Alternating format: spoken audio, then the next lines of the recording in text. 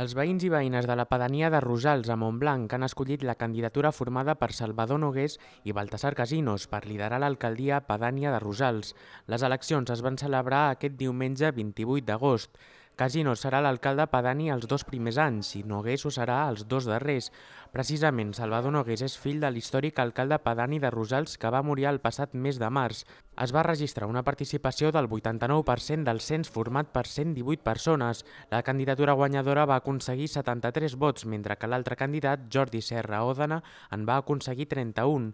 Una de les principals prioritats del nou alcalde pedani serà la seguretat de les cases més properes al bosc. La seguretat eh, de la gent del poble, d'incendis, plan forestal, eh, carretera, que això pertaneix a la Diputació, no pertaneix a l'Ajuntament, eh, una sèrie de coses eh, que es, són vitals. Hi ha veïns que estan molt preocupats perquè es produeixi un incendi i ara hi ha un plan d'escape, un plan que la gent surti d'allí el més mm, ràpid possible, si passés mai.